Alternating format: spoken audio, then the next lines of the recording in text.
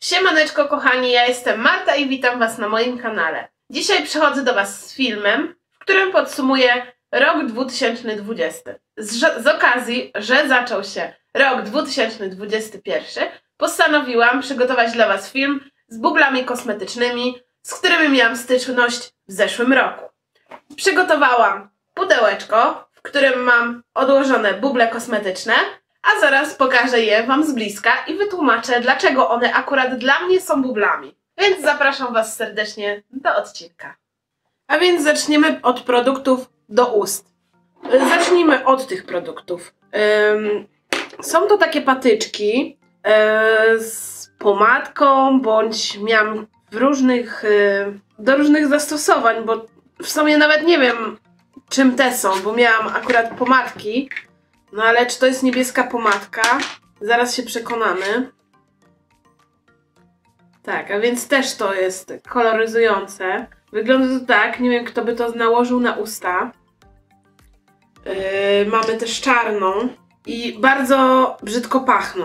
Czarno-szarem. Coś takiego. To jest jeden wielki bubel. Jest to, właśnie się złamało, jest to na patyczku jak do uszu. Yy, no nie, Kupiłam z ciekawości, zaciekawiło mnie to, zamówiłam to na Allegro. E, czy coś da się z tego zrobić? No, ale nie. Jedynie nadaje się do filmu e, bublami kosmetycznymi. Więc e, miałam to w innych kolorach normalnych, no ale nie. Kolejnym produktem jest kredka. Jest z Trendit. Trendit Up. Jest to kredka w kolorze brązu jest ona metaliczna. Nie wiem do jakiej pomadki y, by pasowała, jest taka wysuwana. Jest to kredka metaliczna. Jak widać, nawet się niezbyt dobrze nią nakłada. Jest dosyć twarda, jak na konturówkę do ust. Ma ona taki y, pobłysk, nie wiem czy to widać w kamerze. Pobłysk metaliki, więc e, -e. ta konturówka nie nadaje się do żadnych ust. Y, kolejną konturówką tej samej marki jest y, też konturówka praktycznie y, w podobnym kolorze. Jest też o metalicznym odcieniu. Jest to taki ciepły brąz. No, też nie pasuje ona. O, widać, teraz się łamała. Może przy tej lepiej będzie widać, jaka jest metaliczna. No, nie wyobrażam sobie taką y, konturówką konturować usta, do jakiego można użyć ją, y, do jakiej szminki i jaka kobieta wyglądałaby w takim kolorze dobrze. No, na pewno dla mnie to nie jest dobry kolor. O dziwo, kolejną pomadką jest też pomadka z Trend It Up. Jest y, niby nude, jest określona jako nude, no, ale jest ona bardziej w takim odcieniu pomarańczy, jasnej, ciepłej. Jest to błyszczyk. Błyszczyk taki jasny, ciepły. Mam nadzieję, że dobrze to widać na kamerze. Jaki to jest kolor. Y, na pewno przy tym kolorze bardzo wyżu wyżółkłyby zęby y, na filmie, więc mm -mm, też nie jest to mój kolor. Nie wiem, czy światło trochę nie przekłamuje tego koloru. No ale mam nadzieję, że dobrze ukazuje to kolor, że to nie jest żaden nude, bo nude jest no w innej tonacji, to jest jaskrawo pomarańczowy, no. Naprawdę, mam nadzieję, że y, kamera oddaje ten kolor. Mm, kolejną pomadką jest pomadka y, o dziwo z y, dosyć nowego kalendarza, który miałam. Z kalendarza Hypoallergy z Bell robiłam tyle podejść do tej pomadki, naprawdę. Próbowałam nią pomalować usta w każdy sposób. Yy, niestety, strasznie się rozlewa. Niby ona jest yy, Fresh Matte Liquid Lipstick. Niby jest matowa, ale ona nie jest wcale matowa i strasznie się leje na zęby. Zostawała na zębach, kilkukrotnie rozlewała mi się, na boki. No nie mogłam opanować tej pomadki. Później próbowałam nią pomalować usta z konturówką.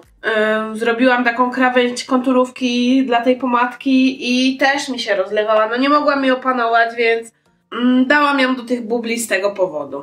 A teraz przejdźmy do kolejnej kategorii, którą będą podkłady i bazy.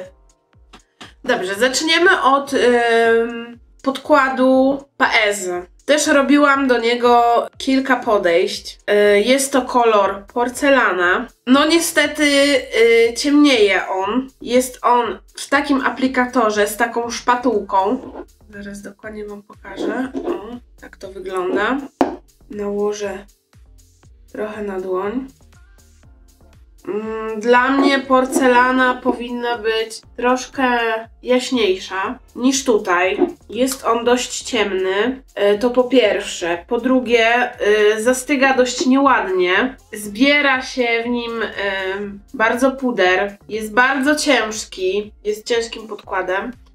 No, niestety nie przepasował mi właśnie z tych powodów, że jest ciężki, że ciemnieje, nieładnie wygląda na twarzy, zbiera się w zmarszczkach.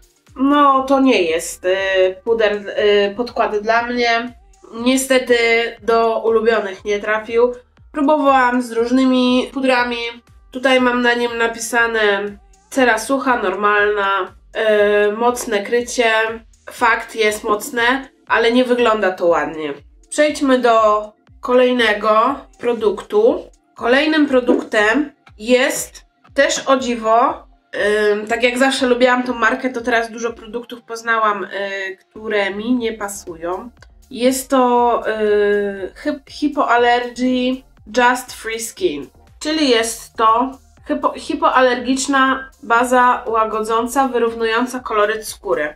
I teraz Wam pokażę, jaka ona jest ciemna. W porównaniu z tamtym jest naprawdę ona bardzo, bardzo ciemna. Nie wiem jak ma wyrównać koloryt skóry, skoro wygląda tak. Wiem, że to nie jest dobre porównanie do ręki, ale jest naprawdę, naprawdę, naprawdę bardzo ciemna. I to bardziej wygląda mi jak podkład niż jak, niż jak baza. Po prostu. Jest w takim ciemnym kolorze. y, Nie pasuje do mnie, wątpię, żeby do kogoś pasowało, bo jest to taki ciemny, ciepły kolor. Zbliżę to, żeby to było dobrze widać. No, niestety, mm, po nałożeniu na twarz od razu się wycofałam, przestraszyłam się tego koloru, bo to jest bardziej jak taki krem BB niż yy, baza. Więc yy, no, zawiodłam się. Yy, to był produkt akurat z kalendarza adwentowego. Kolejnym produktem, do którego podchodziłam kilkukrotnie, jest z Douglasa taki podkład. Jest w kolorze e, Natura, Natural Bridge. Tak, Natural, natural Bridge. Jest to kolor 2 i też jest dość ciemny dla mnie. Ja jestem y, bardzo jaśniutką osobą. I to wygląda tak. Tutaj mamy gąbeczkę. Pod spodem mamy taki. y, jak to nazwać? Mm, taki podkład w kremie, że mo, mo, moczymy w takiej gąbeczce gąbeczkę i nakładamy. I ten kolor jest również bardzo, bardzo, bardzo żółty.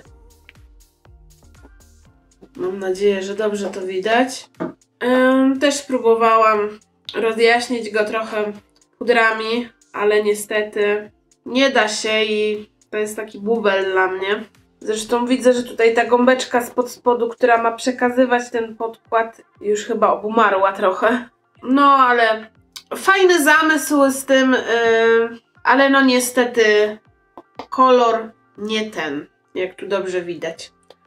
Kolejnym produktem, yy, kolejnym produktem, kolejną próbką, którą mam, często dostaję yy, w zamówieniach próbki.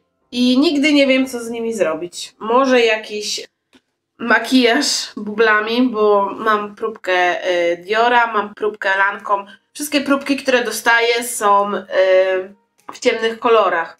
Y, tutaj mamy 03, a tutaj mamy 4N, czyli ciemne kolory. Nie będę otwierać, bo może przydadzą się do jakiegoś y, makijażu ciemny, jasny, czy właśnie bublami. Może chcecie, żebym zrobiła makijaż. Mm, więc na razie nie otwieram. Przejdźmy do kolejnej kategorii. W kolejnej kategorii pokażę Wam linery. Mam tutaj dwa linery, które są e, prawdopodobnie z AliExpress. Mm, Jest to liner fioletowy. Mają być one e, 36-godzinne. Yy, jest fioletowy i niebieski. Co prawda, może by się tyle utrzymały, bo ciężko je się zmywa ze skóry, ale jeśli Wam pokażę o co mi chodzi, to na pewno zrozumiecie. Są to linery bardzo wodniste i... Nawet ten nie pisze. Nawet już jeden przestał pisać. Zobaczmy jak ten drugi, czy pisze. Tak. Yy, są one bardzo wodniste i bardzo wchodzą w zmarszczki, w linie, bardzo yy, się rozmazują, więc yy, te linery też nie należą do dobrych. Zresztą może tak jak na twarzy bym nimi namalowała jakieś wzorki, to na oku bałabym się jakości tych linerów i tego, co może się stać po nałożeniu ich. Kolejnym produktem, który jest dla mnie bublem osobiście, ja podkreślam, że, że te produkty są dla, dla mnie bublami, bo dla kogoś mogą być dobre, niekoniecznie złe. Yy, są to dwa Micro Brow Pen od Revolution. Mam tutaj kolor jaśniejszy i ciemniejszy. Te linery też się bardzo rozmazują. Ciężko je się nakłada, bo robi się y, z tego jedna wielka kropka, kreska. Mają y, one ząbki, czyli powinny rysować nam linię, ale no nie potrafię podejść do tych linerów w taki sposób, żeby te linie wyglądały dobrze, bo się po prostu zlewają. O ile ten jaśniejszy przypomina brąz, to ten ciemniejszy jest ewidentnie dla mnie czerwony. Mam nadzieję, że y, widać to na kamerze, zbliżę jeszcze. I o ile ten jest brązowy, to ten jest ewidentnie dla mnie czerwony. A więc tak jak mówiłam, jaśniejszy kolor, o ile by jeszcze był dobry do pomalowania go yy, na brwi, no niestety nie da się robić tych linii. Nie wiem, może by musiały być dłuższe te wycięcia, takie szpice, ale też on się rozmazuje. A ten ciemniejszy, o ile jest mocniejszy i fajniej się go nakłada, no to niestety, jak widać, on podchodzi pod taki czerwony i no nie pasuje mi ten kolor. Więc uważam to za buble. Kolejnym produktem, który Wam pokażę, e, jest puder. Jest to puder yy, PZ, puder HD. Jest on w kolorze. No właśnie, chyba on nie powinien być w żadnym kolorze, z tego co pamiętam. Yy, jak widzicie, na moje ręce jeszcze widać ślady, bo ten czerwony brow liner nie chce mi się zmyć z ręki, niestety. I tutaj też próbowałam tym pudrem. On ma taki kolor delikatnie brązowy. Na ręce też chyba go nie będzie widać. No to jest naprawdę delikatny kolor, myślę, że byłby odpowiedni dla mnie. Ale niestety yy, ten puder strasznie, okropnie wysusza yy, buzię. Naciąga, napina, wysusza, yy, widać każdy suchy, każdą suchą skórkę na buzi. Nie jest on dobrym pudrem. Co prawda nie kosztował on wiele, no ale niektóre, nie, słyszałam jak niektóre dziewczyny chwaliły ten puder. No niestety jak widać nie jest on dla każdego. Na pewno nie dla mnie. Kolejnym produktem jest bronzer od Revolution. Y, bronzer jest po pierwsze dla mnie osobiście w za ciepłym kolorze. Y, jest to taki ciepły brąz.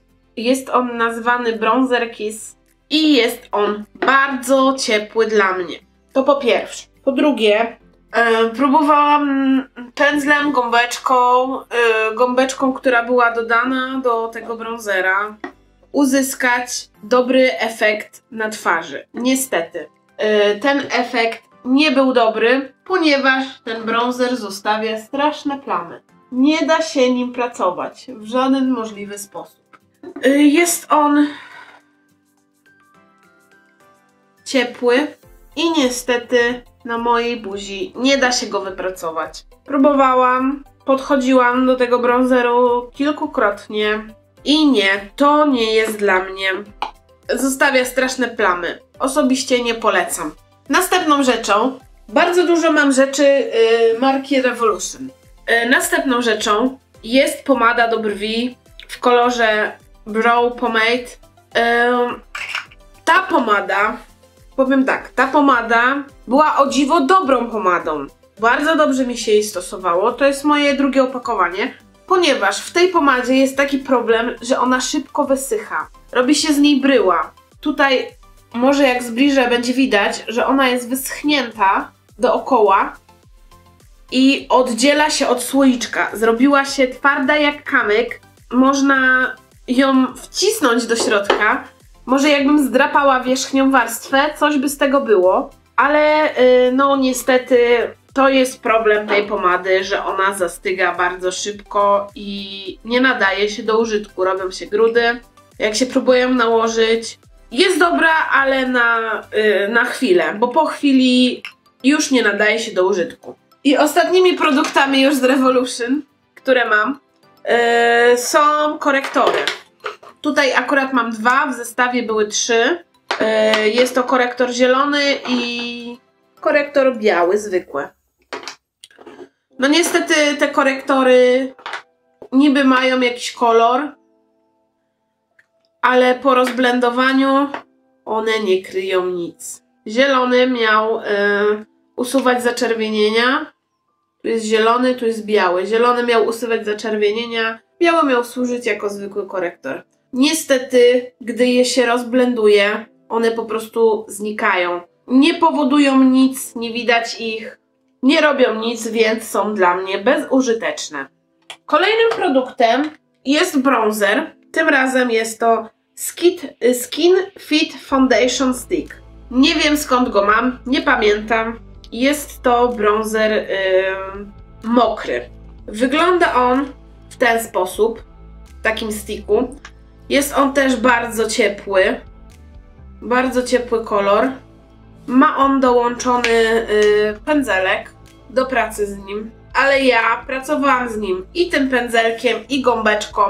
I niestety yy, nie da rady go wtopić dobrze w twarz. Zostawia okropne plamy. Jest to jeden wielki bubel. Yy, no, ja nie, nie dałam rady nim pracować. Nie wiem, yy, podejścia robiłam na różnych podkładach też.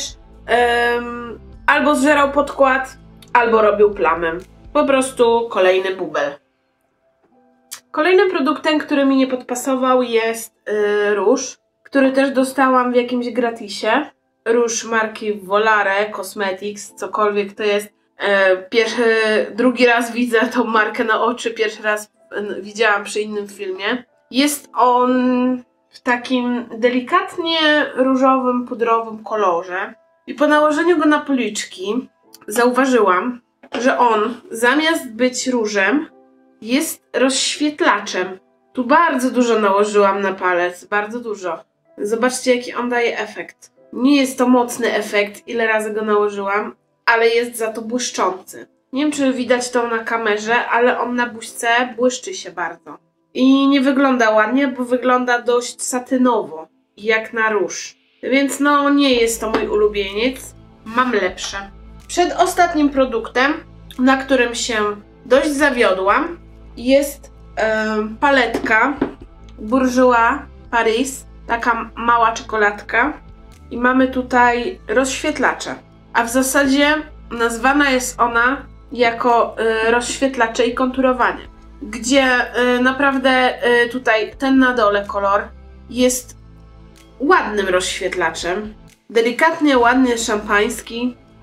Nie wiem, czy w ogóle go widać w kamerze.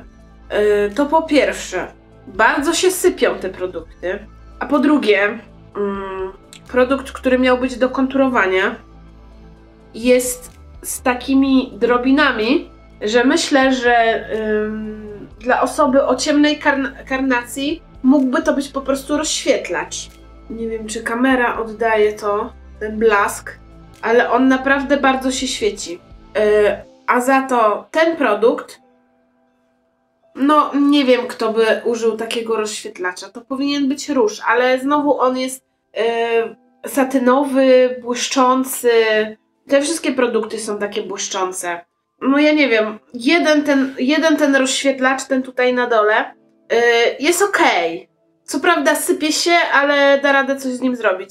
Tak, a z resztą produktów, no niestety nie moja bajka. No, ja nie, nie widzę, jak wziąć i wykonturować twarz tym produktem. Naprawdę. No, to, coś, coś jest, coś poszło nie tak. Ogólnie na początku byłam bardzo zachwycona tą paletką, ponieważ używałam tylko tego yy, rozświetlacza. Bardzo mi się podobał, ale reszta produktów, no niestety, odpada. I ostatnim produktem, i ostatnim produktem, który mam, jest to mini paletka ze Slicka. Tak, ze Slicka, wiem, Slick, fajna marka, kultowa wręcz można powiedzieć. No ale niestety coś tu poszło nie tak. Znowu yy, chodzi tutaj o bronzer, bo mamy tutaj taką małą paletkę z lusterkiem. Yy, jest rozświetlacz i bronzer. Rozświetlacz jest naprawdę przecudowny, jest delikatny. Jest w szampańskim kolorze, super się wtapia yy, w buzię. To jeśli chodzi o rozświetlacz jest naprawdę spoko, ale jeśli chodzi o ten bronzer, yy, ja po prostu nie potrafię sobie z nim poradzić.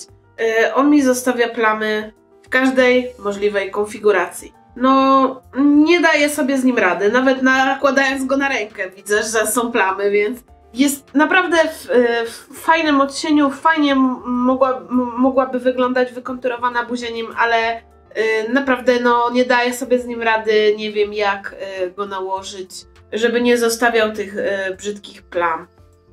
A tak to już wszystkie kosmetyki, które miałam dla Was podsumowaniu bubli dwu, 2020 y, roku.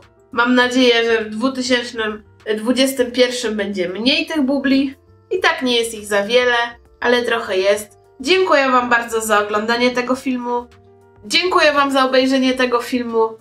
Y, zachęcam do zostawienia łapki w górę, komentarza i subskrypcji. Zajrzyjcie również na mojego Instagrama. Dziękuję Wam bardzo. Do kolejnego filmu. Cześć!